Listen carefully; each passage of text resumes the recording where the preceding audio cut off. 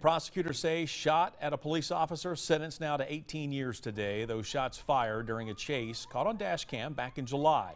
Prosecutors saying four shots were fired before the suspect, Ryan Stiles, swerved into oncoming traffic, nearly hitting another officer, then running off. We're told Stiles dropped a uh, hat in the process, and DNA from the hat matched with Stiles. Now, Stiles was in court today for a plea hearing on charges of aggravated assault and evading arrest.